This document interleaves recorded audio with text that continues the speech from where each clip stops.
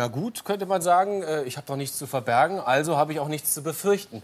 Dieser Satz ist nachweislich falsch. Siehe BKA-Datenskandal beim G20-Gipfel.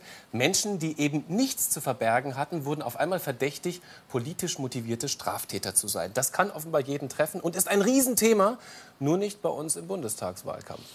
Dabei ist ein solches Szenario, wie das in der Verfilmung des Bestsellers The Circle, schon ziemlich nah dran an der Realität. Oder hinkt es ihr womöglich sogar schon hinterher? Du hast den Job beim Circle. May Hollands Traum ist wahr geworden. Ein Job beim Circle, einem fiktiven Internetgiganten aus dem Silicon Valley. Mit einem Firmencampus wie einem Wellness-Zoo für die Elite von morgen. Tetherball, Langbahnpool, Abhängpool, Hunde-Yoga. Mit Steve Jobs würdigem Erlöserpathos spielt Tom Hanks einen der Gründerväter des Konzerns. Wir hören und sehen einfach alles. Was passiert, wird bekannt sein. Eine einfache Idee hat das Internet revolutioniert. Eine Identität, ein Passwort für alles. Kein Versteckspiel mehr und keine Lügen. Etwas zu wissen ist gut. Aber alles zu wissen ist besser.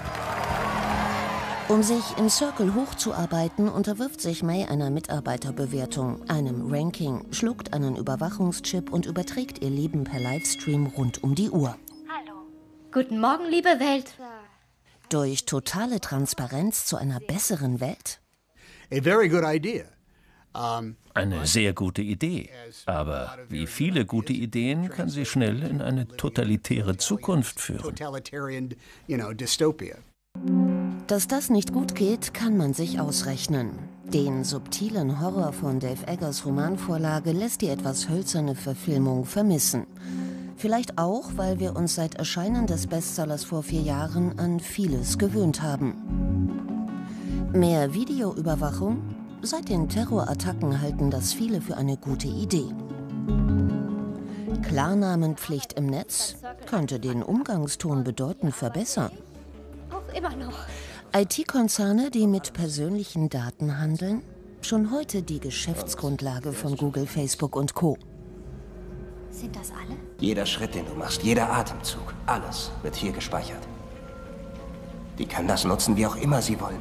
Wir werden analysiert. Die Daten aller beim Circle werden ausgewertet und zu Geld gemacht.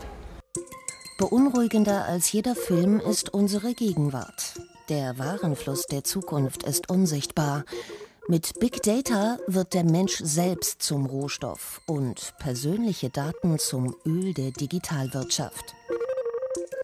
Was das System heute schon kann, darüber haben die Hamburger Filmemacher Matthias Heder und Monika Hielscher einen aufrüttelnden Dokumentarfilm gedreht.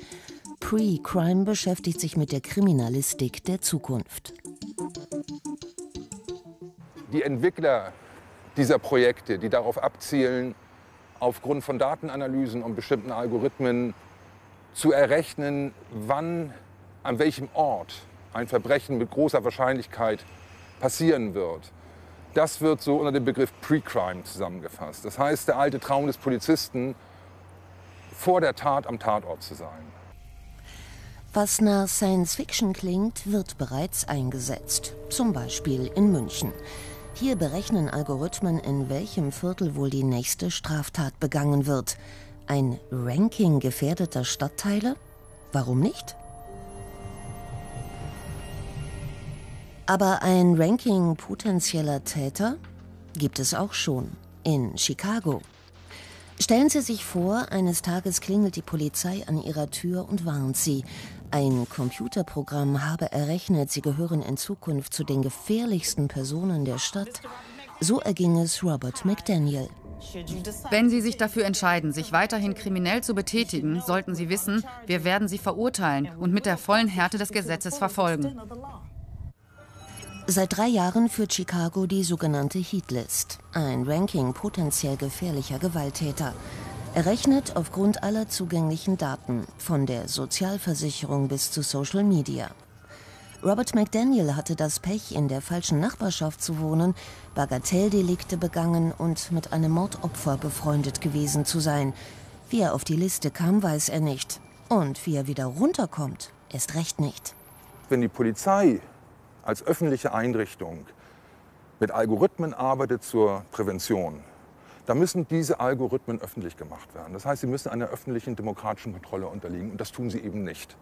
Und das tun sie aus dem Grunde nicht, weil die Polizei bei der Privatwirtschaft einkauft, diese Algorithmen und Programme, oder aber in Zusammenarbeit, in Public-Private Partnership, diese Programme entwickelt. Und weil die private Seite immer ein Patentinteresse und immer ein Verkaufsinteresse, immer ein Profitinteresse hat, gibt es keine Möglichkeit, dass diese Algorithmen veröffentlicht werden. Und das, glaube ich, ist das große Problem. Ranglisten gefährdeter Stadtviertel oder potenzieller Straftäter sind jedoch nur der Anfang. Totalitäre Staaten erhoffen sich von Big Data die totale Kontrolle.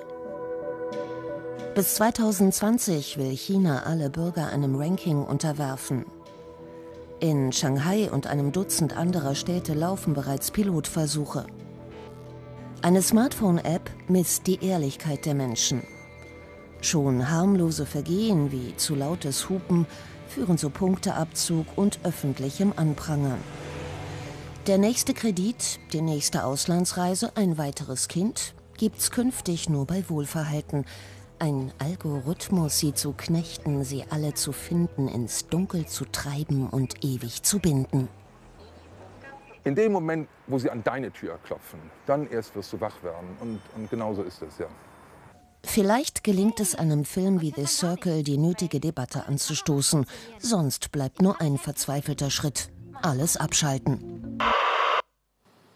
Die Datensammelei wird natürlich insgesamt nicht aufhören. Im Gegenteil, sie wird zunehmen. Und das muss auch gar nicht schlecht sein.